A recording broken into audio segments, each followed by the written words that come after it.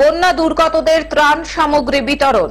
হুগলির খানাকুলের বন্যা পরিস্থিতির পরিদর্শন করলেন রাজ্যের পরিবহন মন্ত্রী স্নেহাশিস চক্রবর্তী, সাংসদ অপরূপা পোদ্দার, বিধায়ক রামেন্দ্র সিংহ রায় সহ অন্যান্য প্রশাসনিক কর্মকর্তারা। গতকাল বেলা বারোটার দিকে হরিশচকে ত্রাণ শিবিরে আসেন তারা এবং বন্যা দুর্গতদের হাতে ত্রাণ সামগ্রী তুলে দেন। সম্প্রতি ডিবিসির ছাড়া জলে হুগলির খানাকুলের বিস্তীর্ণ এলাকা প্লাবিত হয়েছে। তাই এই অস্থায়ী ত্রাণ শিবিরে ঘরছাড়া বহু মানুষ আশ্রয় নিয়েছেন। হুগলির খানাকুলের সবল সিংহপুর পঞ্চায়েতের অধীনস্থ হরিশচক হাই স্কুলে এই অস্থায়ী ত্রাণ শিবিরে বহু বানভাসী মানুষ আশ্রয় নিয়েছেন।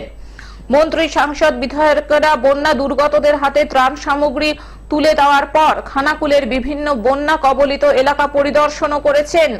পাশাপাশি বিভিন্ন ত্রাণ শিবিরে যাবেন বলেও সূত্রের খবর গতকালের এই কর্মসূচিতে রাজ্যের পরিবহন মন্ত্রী স্নেহাশিস চক্রবর্তী, সাংসদ অপরূপা পোদ্দার, তারকেশ্বরের বিধায়ক রামেন্দু সিংহ রায়, হুগলি জেলা পরিষদের সভাধিপতি রঞ্জন ধারা ও সহ সভাপতি কৃষ্ণচন্দ্র সাঁতরা সহ অন্যান্য প্রশাসনিক কর্মকর্তারাও উপস্থিত ছিলেন। এই তো আমরা খানাকুলে এসছি। খানাকুল প্রতি বছরের মতো খানাকুল ওয়ান টুয়ে বিভিন্ন পঞ্চায়েতে জল ঢুকে গেছে, প্লাবিত হয়েছে। ডিবিসির যে জল, ঝাড়খণ্ড, বিহার থেকে জল যেটা আসে, প্রচুর পরিমাণে ছেড়ে দেওয়া হয়।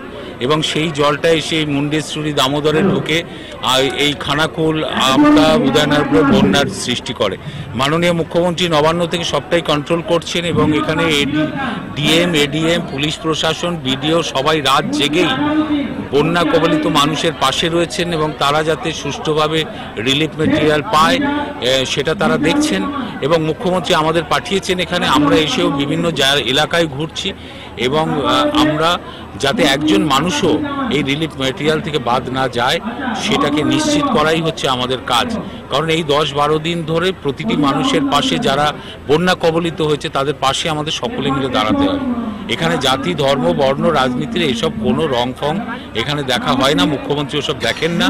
সবার জন্যই যাতে সরকারি পরিষেবা পৌঁছে, সেটাই আমরা দেখতে এসেছি। হুগলি থেকে কৌশিক ঘোষের রিপোর্ট, গ্লোব নিউজ।